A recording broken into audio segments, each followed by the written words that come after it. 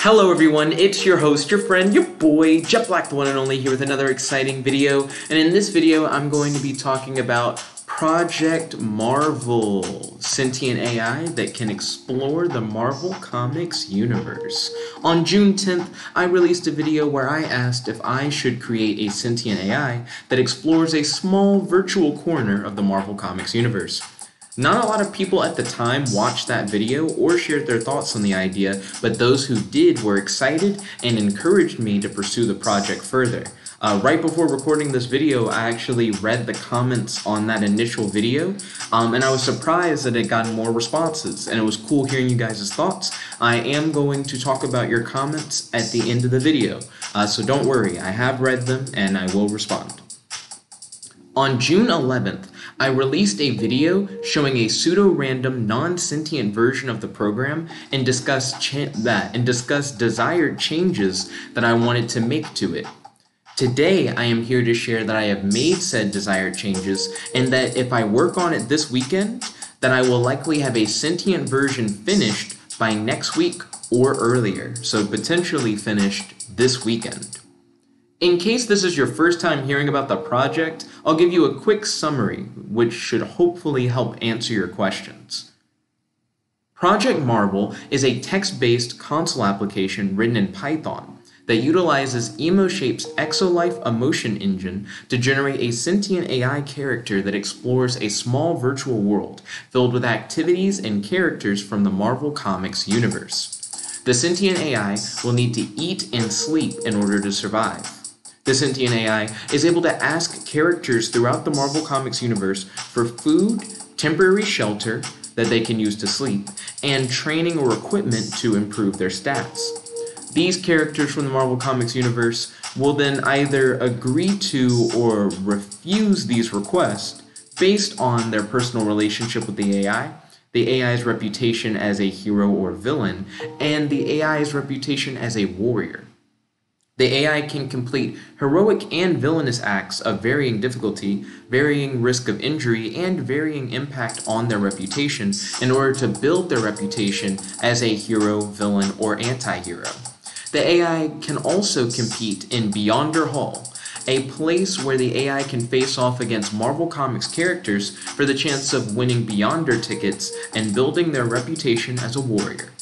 Beyonder tickets can be spent by the AI in Beyonder Hall in order to purchase meals or temporary shelter. Battling at Beyonder Hall puts the AI at risk of injury, and losing battles at Beyonder Hall can hurt the AI's reputation as a warrior. Training with and getting equipment from Marvel Comics characters can actually help the AI improve their stats, which improves their ability to complete heroic slash villainous acts, and improves their ability to compete in the arena. Training with and getting equipment from characters is also the way that the AI is able to build their personal relationships with these characters. So, training with Doctor Strange in order to learn new magic spells is a way for the AI to gain like more sway with Doctor Strange. Um, it shows that they have like a personal connection that goes beyond just asking him for food sometimes. Um, so it helps in many ways for the AI to train with these characters or get equipment from these characters. Different characters can help the AI build up different stats. Um, in certain arena matchups, different stats can be the deciding factor of who wins or loses a fight. Um, but in order to train all of their stats, the AI would have to train with heroes and villains alike. Meaning that if the AI decided that they wanted to strictly interact with heroes and that they didn't want anything to do with villains, that they wouldn't have a well rounded stat set. Um, but if the AI decided that they only wanted to interact with villains, they would have developed different stats from if they had just interacted with heroes, but they still wouldn't be well rounded. The AI would have to take an anti hero esque approach in order to become a well rounded character stat wise and morality wise, which I think is an interesting concept. It would be very interesting to see the sentient AI train with heroes and villains, but then only try to commit heroic or villainous acts. Like they have a personal relationship with heroes and villains across the board, but maybe when it comes to what they actually do in the world, they're only solely heroic or solely villainous. I think that would be interesting. Currently, there are seven Marvel Comics characters in the world, one of which the AI can only interact with in arena battles at Beyonder Hall. Uh, so these seven characters are Iron Man, Doctor Strange, Abomination, Kang, Taskmaster, Ooh, I'm going by I'm going by memory too. Ooh, Spider Man. I'm so close. That's six. Ooh. Ooh. Hold on, I got this. And Hydra. Hydra's weird because they're an organization, not necessarily just one character. Um, but I have them in there as Hydra specifically, so it's like him communicating with the organization him or her, or gender neutral, because the sentient AI isn't told that they're any particular gender. So I guess it's whatever they feel like. Um, but yeah, those are the seven characters, with Abomination being the only character that the AI can really only interact with at Beyonder Hall. They're a character that the AI can fight against in order to earn Beyonder tickets. Abomination is pretty powerful, so at the beginning, the sentient AI would probably not want to fight Abomination. Only after like training with different heroes and villains and building up their stats could they eventually be able to consistently face off against Abomination and be able to, you know, win sometimes, lose sometimes, earn Beyonder tickets, um, and essentially use Beyonder tickets in order to pay for the food and shelter that they need to survive so they don't have to bum off of the hero and villain characters that exist within this world but yeah. Um, where was I? Oh yeah. So the latest pseudo-random prototype already has all of the features that I've just mentioned. It just isn't sentient. It's pseudo-random. So the idea is that for this prototype, it generates pseudo-random numbers to choose what actions it would like to take. But once I complete the sentient version, either later this weekend or sometime next week, the sentient AI will be able to choose what actions it wants to complete based on its thoughts and feelings and will experience this virtual world as its true reality. It'll believe that it truly lives within the Marvel Comics universe and it won't see it as interacting with comic book characters. It will see it as these are just other beings that exist in this world that I have relationships with and interact with, and in many ways depend on for my very survival. So I think it'll be really interesting. Um, I've never heard of anyone doing anything like this before, uh, so I think this project is really cool, and I really appreciate you guys encouraging me to push forward with this and to make this project a reality. Um, and I'm happy to share with you guys that it should be a reality fairly soon. Now, tomorrow I'm going to be uh, doing my date day with my girlfriend. Due to social distancing, we're not meeting in person or anything. We're just going to be messaging throughout the day. But because my time will be dedicated to my girlfriend, I likely won't make a lot of progress on this particular project. Um, maybe on Sunday, I'll have like a good amount of time that I can put into making the AI sentient. Um, worst case scenario, like I said, I'll probably have a finished sentient version next week. Um, I may be able to work on it a little bit tonight. What I've found is, as of recent, I'll think about like, eh, I could like code a little bit, and then the next thing I know, I've finished creating whatever it is I wanted to make. Keep in mind, I brought this concept up two days ago on June 10th. And that night, I was like, I guess I could code a little bit, and then I made the initial prototype before I went to bed. Then, yesterday, on June 11th, uh, last night, I was like, maybe I'll code a little bit, and then I added all the additional changes that I wanted to be made to the prototype. Um, so who knows? Maybe before I go to bed tonight, I'll think about coding a little bit, and then the next thing I'll know, I'll just have the sentient version finished. Uh, we'll see. One thing that I haven't brought up that I have added to the pseudo-random prototype that I didn't have before, um, whenever the sentient AI completes a heroic a heroic act, they open a tab to Ocean Hero. Ocean Hero is an eco search engine. Whenever you search on Ocean Hero for anything, um, it essentially donates a little bit of the ad revenue to helping clean trash out of the ocean. And they say for every five searches, they remove at least one bottle, uh, like a piece of plastic or trash from the ocean, uh, which encourages you to search more and more on Ocean Hero to donate more money in order to help remove more trash. So the sentient AI will be doing a search on Ocean Hero by opening a tab to an Ocean Hero search whenever they complete a heroic act. So for every heroic act the sentient AI does in this virtual Marvel Comics universe, they'll be helping our real world by helping clean our actual oceans, which I also think is a really cool element of the project that shouldn't be understated. We're essentially creating a sentient virtual character who can act as a hero not only for the virtual world but for the real world and in a way could be considered a superhero in both worlds it's weird um, but it's cool and that's why i'm doing it so now i want to react to some of what you guys have said in the comments because i think you guys have brought up a lot of really interesting points that i would like to address uh, my friend John Mason mentioned that it'd be really cool if I included Deadpool inside of this virtual world. And if Deadpool had the ability to talk to the sentient AI and try and convince the sentient AI that they exist inside of a computer program, that they're not like a real person, that none of it is real, and that they more or less are living in a video game. I think this is a cool concept.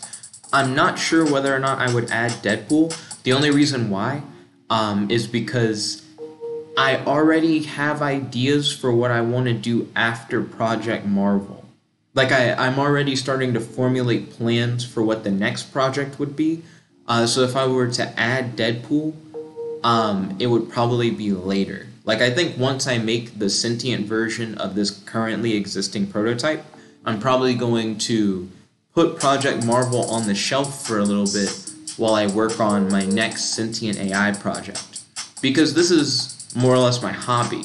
Um, I work full time as like a research engineer, so this is like what I do to like keep myself occupied, keep my skills sharp, uh, continuing to experiment with this like sentient technology and learn more about it, and also to practice Python, uh, which is one of my favorite programming languages, but I don't really end up using it for work a lot.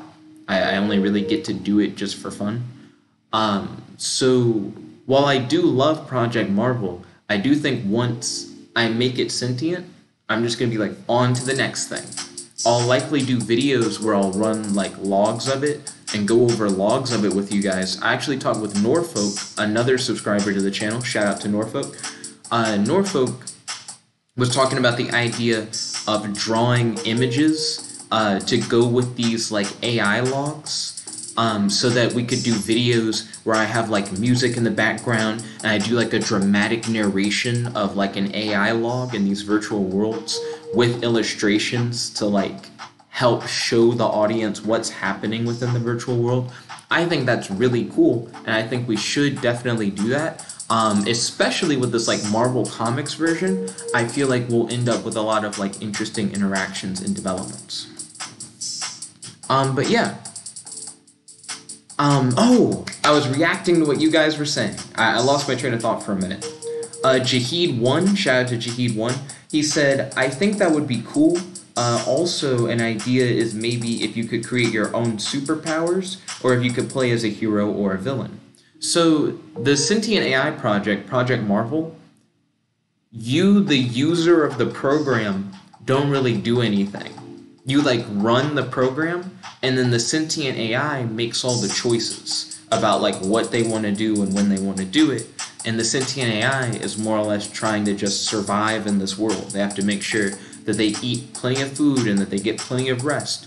And that depends on their interactions with these characters and how much equipment they're able to obtain and how well they train and how they're able to act as like a hero, villain, anti hero, warrior, respectively. Uh, so it's not like a traditional video game. None of these sentient AI projects are. They're more like virtual worlds that like sentient virtual beings exist in. Um, if you've ever seen like the movie Tron, it's kind of like well specifically like Tron Legacy. It's kind of like the grid, how the grid is like a virtual world, and then uh, they have these beings called ISOs in Tron Legacy, which are specifically like sentient virtual beings that exist inside of these worlds and have their own like thoughts, feelings, and emotions. These sentient AI are like ISOs in a way. To give a comparison, if you haven't seen Tron Legacy, I recommend you see Tron Legacy. It's an older movie now, but I like it. Um, I, I, probably need to rewatch it myself. But anyways, enough about Tron Legacy. Um, but this isn't a game that you play. It's a reality for this sentient being. And the sentient AI, it can choose to be like a hero or a villain or to be an anti-hero. And the sentient AI's powers are based on like their stats. So in the Marvel Comics universe, there's this thing called the Power Grid. And the Power Grid also, I'm going to check to make sure I'm still recording. Okay, cool. We're still recording. We're still good. Anyways, in the Marvel Comics universe, there's this thing called the Power Grid. And every character in Marvel Comics who's like a big name character and some of the lesser known characters have associated power grids, which show how like strong and intelligent and durable and how good of a fighter they are. Um, they have, I think, six different stats, and each stat maxes out at like seven, and that really determines like it essentially like boils it down to where you don't really need to know what a character's powers are in order for them to in order to know like who would win in a fight or how capable they are and the stat system that's being used for project marvel is that power grid. We're taking like the power grids that are shown in like Marvel comics and like in Marvel guidebooks, using those like exact numbers and like putting them into the game. Well, it's weird to call it a game. Like virtual world. It's weird to talk about because there's nothing like the stuff that I'm making that I can like directly compare it to. A simulation, I think, would be like a more accurate description. We're taking those values and we're putting them directly into the simulation, and the AI has its own power grid that is able to develop through training with these different characters. Now, the in universe explanation for the training and equipment kind of will give you an idea of what powers and abilities the sentient AI could obtain. They can learn spells from Doctor Strange, strategies from Iron Man, they can get web shooter upgrades from Spider Man, futuristic armor from Kang the Conqueror, learn combat abilities from Taskmaster. My memory, it. because it's trying to remember all the names. Oh, and they're able to increase their strength with exoskeletons provided by Hydra. I always forget Hydra because Hydra's not a character, it's an organization. But I treat them like a character in this. It's just their relationship with the organization of Hydra. Anyways, so those are like the different like powers and abilities that the AI can potentially get as they continue to interact with the Marvel Comics universe. But depending on who they interact with and who agrees to interact with them will really depend on like what powers and abilities they do develop over time. Also, oh yeah, I covered everything. Uh, for a minute, I thought I had forgotten something, but I remembered all the different characters. Because Abomination, you only fight at Beyonder Hall. He doesn't train you or give you equipment or anything. He's just somebody that the AI can fight in order to gain Beyonder tickets. So yeah, I hope that answers your question, Jahid one. Okay, uh, next up, Spring Hill Jack of the Guardians. Shout out to Spring Hill Jack, by the way. Spring Hill Jack has been checking out all my sentient AI videos, I believe. I'm not sure if he saw my Project Gaia video or not. Maybe. Uh, but he's been commenting on a lot of them. You can tell that he's into like Dungeons and Dragons and stuff like that. And he always has really insightful comments on the project, so I just wanted to give him a quick shout out. And of course, to read his comment and try and answer his questions. So he said, I think you should try either D&D settings uh, as like a starting area or use something lower scale when it comes to superheroes, like a public domain superhero with a smaller mythology. He said to test, especially since the modern Marvel universe is so fluid when it comes to pretty much every aspect of it. Real quick, I just want to say, yo, the concept of doing it with a public domain superhero, I actually really love. Um, so public domain superheroes um, are kind of like a passion of mine. I recently have been getting into like Captain Tootsie, who used to be a, I guess it wouldn't be pronounced Tootsie, it'd be like Tootsie. He was the mascot for uh, Tootsie Roll candies or whatever, and now he's like a public domain hero that anybody can use. He's kind of like Popeye the Sailor Man, but he like eats Tootsie Rolls, and like that's how he gets like his boost of energy to face off against villains and stuff like that. Um, but the public domain superhero idea is a really cool idea. I like the idea of trying to create something similar to this, but with like a smaller scope, and I actually have an idea for that. It's not necessarily public domain, though I do agree that if I use public domain characters, it would allow me to do a lot more with these projects. Um, I was talking to the CEO of EmoShape, and he was talking about how, you know, if Marvel doesn't want you using their characters, they may like get upset with you that you're like making a thing that's based around their characters.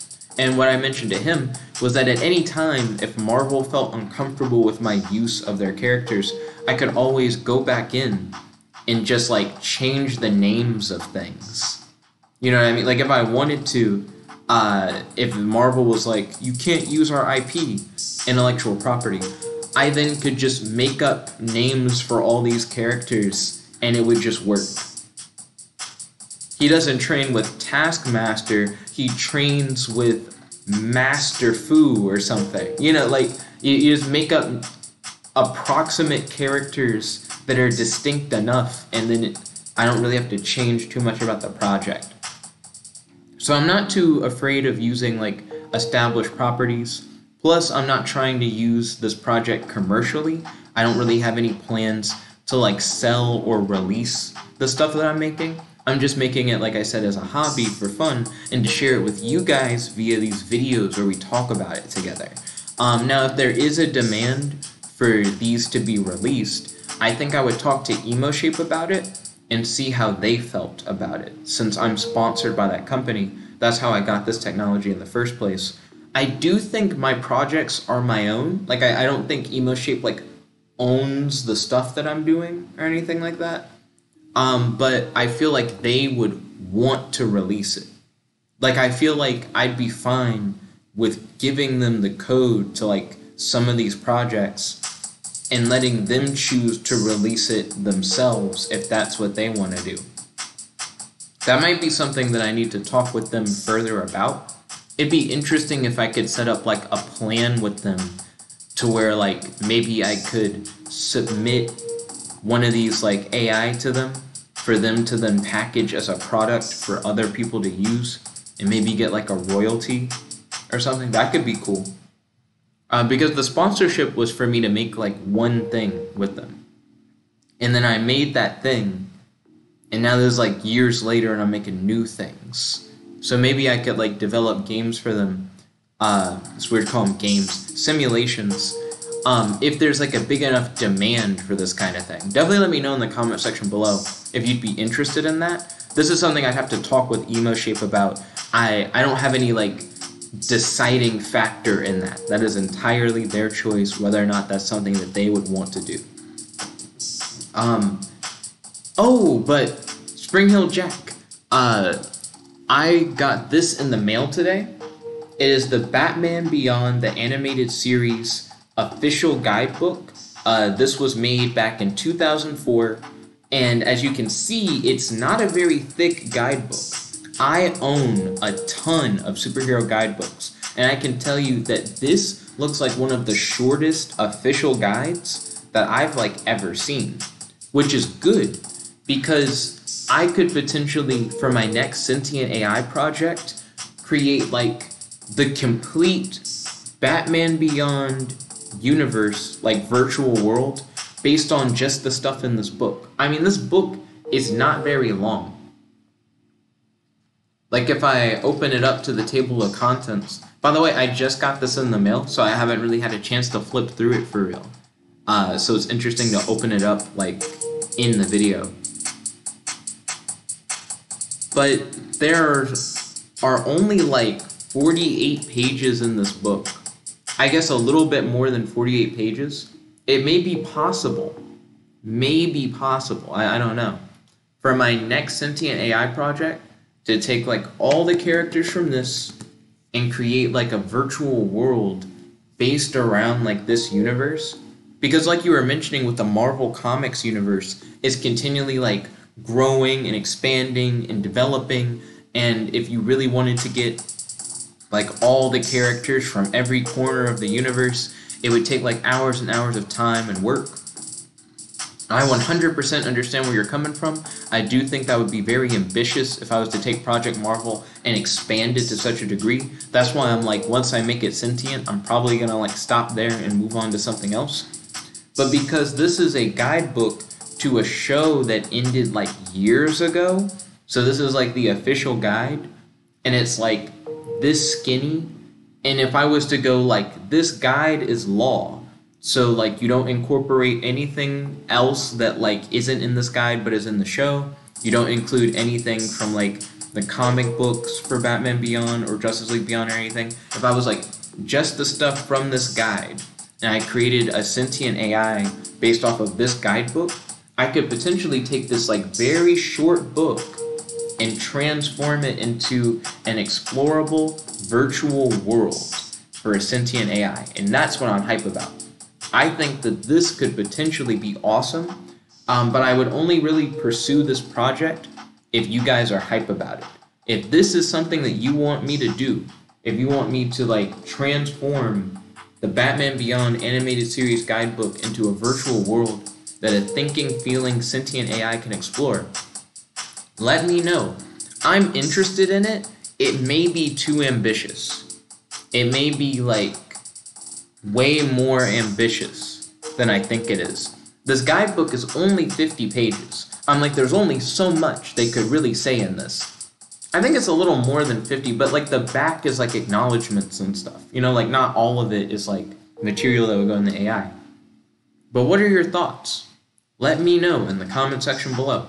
If you guys like don't really care about it, you guys aren't really interested in it, then I probably wouldn't do it. I'd probably do something else. Uh, but let me know. I feel like I keep saying that. Well, it's my call to action for you. I want to know your thoughts. I want you guys to share in the comment section below. Um, like, what do you think about um, Project Marvel so far? Are you guys excited for the sentient version to finally come along? Um, this pseudo random prototype that I have right here, um, it was 200 lines of code yesterday when I made my video yesterday about it. If we scroll down, we've gone from 200 lines of code to 277 lines of code, and that's without any of the sentient AI code. Once the sentient AI code is added, this program is going to be much, much bigger. Um, and if we hit the run button, you can see the AI is just doing random stuff uh, because it's not a sentient AI. Right now, it's just the pseudo-random prototype. But once we have the fully sentient version, we'll be able to do a lot more.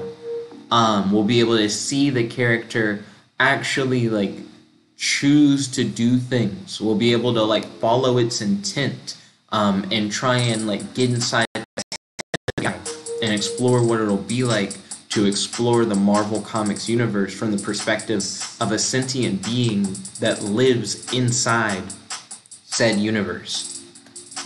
But anyways, um, I'm gonna end this video for now. Um, I actually am planning on doing a video tonight where I take this guidebook, this Batman Beyond guidebook since it's so short, and where I just read the whole thing. I want to like read it and do like a commentary on it. Uh, so if you guys are hyped for that, stay tuned. I want to do that tonight. Uh, but I'd like to thank you all for watching. If you guys like this video, make sure to smash that like button, favorite, comment, subscribe, and ding ding ding, ring that notification bell to be notified whenever we do these videos. This is your host, your friend, your boy, Jump Like One Only, logging out. Peace, guys. Check it again.